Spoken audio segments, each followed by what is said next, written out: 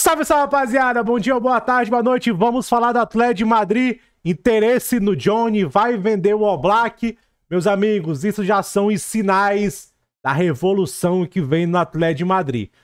Quando se falar de revolução, pensa que vai sair 10 e vai chegar a 10. Não é isso, rapaziada, mas vai sair uma galera e deve chegar uma galera. Belezinha? Muita gente tá à venda, sai especulação do Oblak. O, o Atlético de Madrid vai reforçar todas as áreas, vai ter um cuidado muito legal no meio-campo e na zaga. A zaga. Cara, de verdade, eu tô vendo uma idolatria pelo Witzel. Eu, meu Deus do céu, de onde tá vindo isso? Pelo amor de Deus. Pelo amor de Deus, belezinha? Então, vai ser reforçado vários setores: zaga, meio-campo, ataque.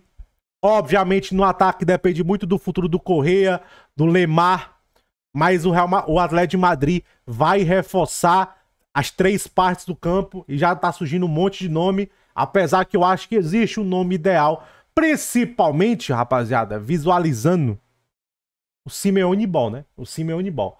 Belezinha? Deixa o like, se inscreve no canal, dá aquela força. Quem quiser fortalecer, seja membro, cara. Ajude o canal. Tem a opção aí pelo YouTube e também tem a opção via Pix aí na descrição, belezinha? Valores anuais. Vamos lá, falar Atlético de Madrid. O Atlético de Madrid tem interesse no Real Betis, no Johnny Cardoso, né? Do Internacional que estava no Betis, né? O Betis quer 30 milhões de euros por ele. Barcelona, Dortmund e Leipzig estão também interessados. Provavelmente é fake, tá? Eu vou logo avisando. Provavelmente é fake esse tanto de clube interessado nele. Entendeu? É coisa lá de Sevilha, né? Os caras metem aí um nome aí. Provavelmente é fake. Cara, do, das características do Johnny, o Atlético de Madrid já tem o Vermiren, velho. Entendeu? Já tem o Vermiren lá. O Johnny pra quê? É simples, entendeu? Aí, ó, outra coisa. O Atlético de Madrid renovou com o Coke. Eles querem alguém mais parecido com o Coke. Aí, rapaziada, aqui faz mais sentido, ó. O Atlético de Madrid é, vai intensificar os contatos com a agência do Matt Swift, do Feyenoord, né? O Atlético quer garantir um sim do meio-campo do Feyenoord. Aqui faz mais sentido pro Atlético. Cara físico, de energia, de pegada, que tem uma boa saída de bola. Principalmente para ser o tripé ali do 3-5-2. Você pode colocar o Vermiren junto com o Eifer. Você pode botar o Eifer, Pablo Barrios e Vermiren. Tem um meio-campo bem jovem. Eu acho que o Ife faz muito mais sentido do que o Johnny Cardoso. Outra coisa, se é pra gastar 30 no Johnny Cardoso, gasta 30 no O'Reilly. Eu prefiro o O'Reilly do que o Johnny Cardoso. Muito mais versátil. O O'Reilly. Até se fala que no Atlético de Madrid ainda tá de olho no O'Reilly, no Ife. Mas a, a posição de meio campo, o Atlético de Madrid vai olhar vai olhar. E, cara, eu preferia o Atlético de Madrid pegar o IFE. Eu acho que o IFE para o Atlético de Madrid, para o Simeone Ball, é o melhor encaixe. É o melhor encaixe. Eu acho que o Johnny, cara, o Dortmund até faz sentido. O Leipzig faz sentido também. O Barcelona não faz sentido. Barcelona não vai gastar isso aí no Johnny, não faz sentido. Eu acho que o Atlético de Madrid também não, tá, não faz muito sentido, velho. Não faz muito sentido. Enfim, aí, ó, obviamente, outro setor que o Atlético de Madrid vai contratar é pra zaga, né? Aqui também saiu que o Lenormand já falou pra Real Sociedade que quer jogar pelo Atlético de Madrid próxima temporada. O Atlético pode oferecer 20 milhões de euros mais o Ravi Galan. Cara, aqui eu acho que tem negócio, hein? Eu acho que tem negócio. O Ravi Galan tá indo bem pela Real Sociedade, tá recuperando bom futebol, ele era um bom jogador. 35 milhões de euros mais o Ravi Galan. Eu acho que, o, que a Real Sociedade vai pedir uns 30 mais o Ravi Galan, velho. Ó, o, o Lenormand para o Atlético de Madrid seria um bom reforço. Seria um bom reforço. Tá precisando de mais zagueiro proativo, entendeu? E, cara, uma coisa que eu não, não, não entendo muito do Atlético de Madrid foi a queda do, do Renildo, cara. Depois da lesão, da lesão de joelho, meu mano Renildo não voltou mais o mesmo, cara. O maluco tava defendendo muito antes da lesão, até a lesão ele tava jogando demais, velho. Demais, demais, demais mesmo. Só foi. Só foi se machucar que ele não voltou mais o mesmo. Mas a zaga, rapaziada, a zaga vai ser um ponto que o Atlético de Madrid vai bater. E olha lá se não chegar uns dois zagueiros. Uns dois zagueiros. Pelo menos um de alto nível para realmente aumentar o nível da zaga do Atlético de Madrid. O Atlético de Madrid tem que contratar. O Lenormand é um bom candidato. É um bom candidato, belezinha? Aí também saiu aqui que ó, o Oblak não está à venda. Saiu uma notícia ontem que o Oblak estaria à venda.